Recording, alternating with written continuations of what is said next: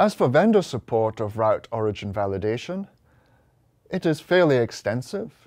Over the last five or six years since RPKI was being developed, more and more vendors have added support in their implementation. The slide shows the current implementation support.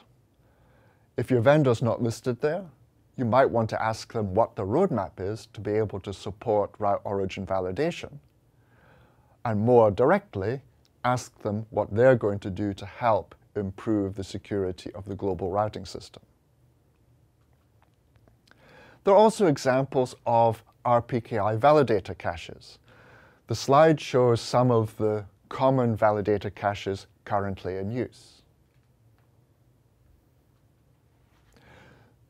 To build a validator cache, the slide shows one example of using NLNet Labs Routinator. Routinator is relatively straightforward to install, and the instructions are very clearly described in the URL shown on the screen. Another example shown on the screen is the validator cache from Dragon Research. Again, fairly straightforward instructions to follow, the nice thing with this validator cache is that it has a web interface where you're able to check the status of ROAs.